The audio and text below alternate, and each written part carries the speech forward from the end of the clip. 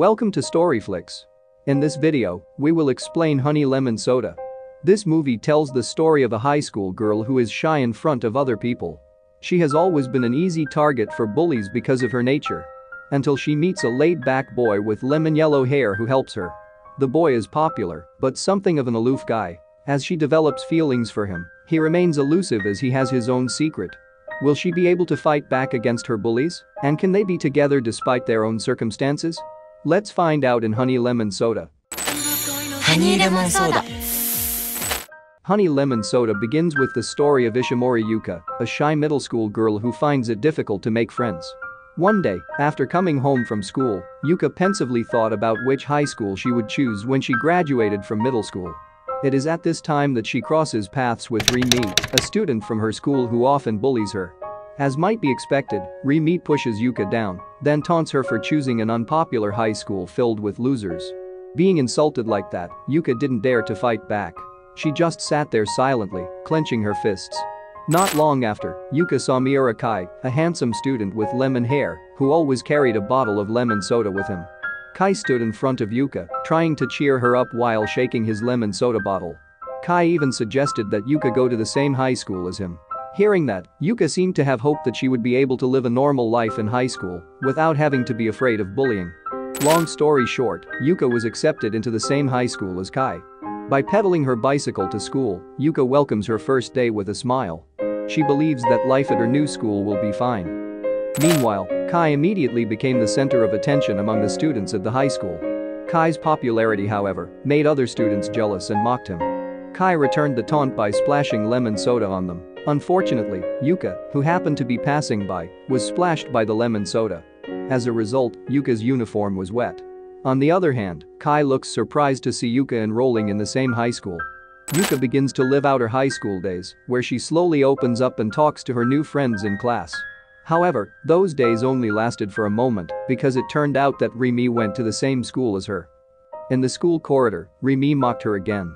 She calls Yuka as stone because Yuka is always silent when teased. Yuka's bullying continues. Every day, Yuka's personal belongings are thrown into the trash, but again, Yuka doesn't dare fight back. Concerned about Yuka's situation, Kai tries to get her to talk, suggesting Yuka to cultivate the courage to take revenge on, or at least fight against the bullies. If she felt unable, then at least ask someone for help. Hearing Kai's suggestion, Yuka could only squeeze her own hand while holding back her emotions. It's not that Yuka doesn't want to ask for help, but she doesn't want to involve other people in the problems she faces. Therefore, she prefers to remain silent, to the point that she also thinks that she is a stone. The next day, Yuka meets Rimi and her friends again in the corner of the school. There, Rimi asked Yuka to buy her some food. Yuka responded with silence like a stone. Irritated, Rimi pushed her down. The commotion immediately attracted the attention of other students, including Kai. Seeing Yuka being bullied again, Kai sat crouched beside Yuka with a look in his eyes that clearly pitied Yuka. Kai said if Yuka needed help, he was willing to help.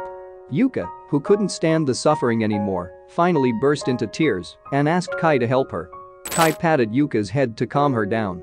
Then, Kai stood up and gave Rimi and her gang a stern warning never to bother Yuka again, or else they would suffer the consequences. Without saying anything, Rimi left with a huff. Since then, Yuka can live her days in peace. In fact, she now gets three new friends who are also Kai's friends. They are Ayumi Endo, Satoru Sato, and Tomoya Takaman. One afternoon in the classroom, while Kai was seen sleeping soundly in his seat, the three friends were chatting with Yuka happily. They interrogate Yuka and ask why Yuka chose their school. Yuka openly said that, when she was in middle school, she was always bullied, so she didn't have any friends, to the point that she thought that coming to school was unpleasant. Therefore, Yuka acts like a rock so that she doesn't hurt her own heart and others. However, someone has brought her back to her senses, making her determined to change so she can live a normal high school life like any other teenager. Kai, who was pretending to be asleep overheard Yuka's words. One day, the teacher rearranged the seats in the classroom. Luckily, Yuka got a seat next to Kai in the front row. Since then, Kai has discovered that Yuka is a smart student and that gives him an idea. In class, Kai announced that whoever Yuka was friends with, their grades could definitely improve. His classmates believe Kai's words and they start to be friends with Yuka. Since then, Yuka doesn't feel alone anymore because Kai will always be there to help her and her classmates always greet her. Seeing the attention that Kai gave to Yuka, Tomoya suspected that Kai had special feelings for Yuka. However, Kai didn't want to admit it because actually, behind his helpful nature, Kai has a secret in his life. One afternoon, Kai invites Yuka to gather with his friends at a cafe to study together. They will have an exam soon, so Kai and his friends need Yuka to explain the material that will appear in the exam. Not long after, a girl named Serena and her two friends approach them. Serena turns out to be Kai's ex-girlfriend. Even though they broke up, Serena is still on good terms with Kai. But suddenly, Serena's friend taunts Yuka, who she doesn't think is worthy to sit next to Kai. The insult made Serena angry.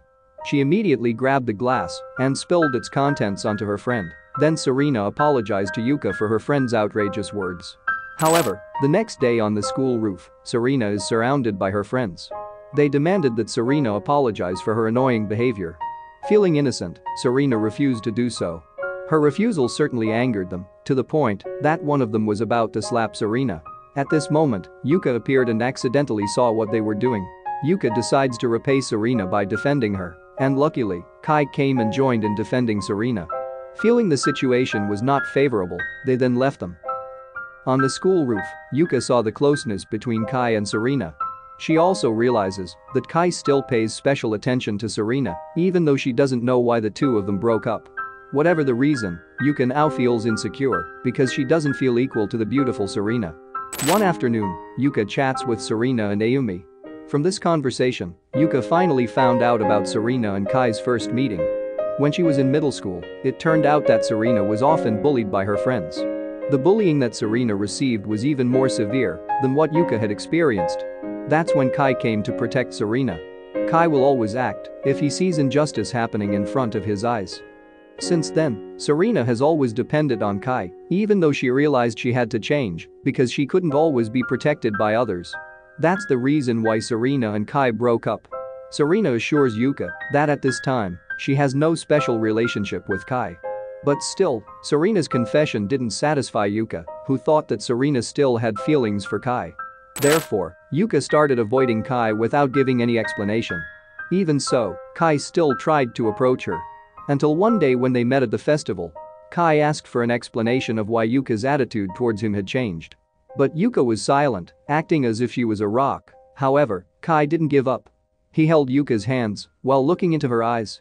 Kai said that even though Yuka acted like a stone, in his eyes, Yuka is like a gemstone.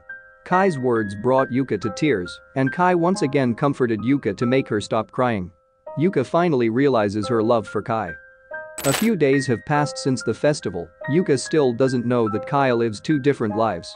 It turns out that Kai works part-time as a bartender at a bar at night.